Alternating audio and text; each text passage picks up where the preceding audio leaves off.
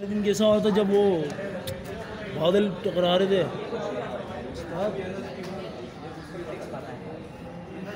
हम नमाज़ पढ़ लो और ऐसी बिजली पड़ गई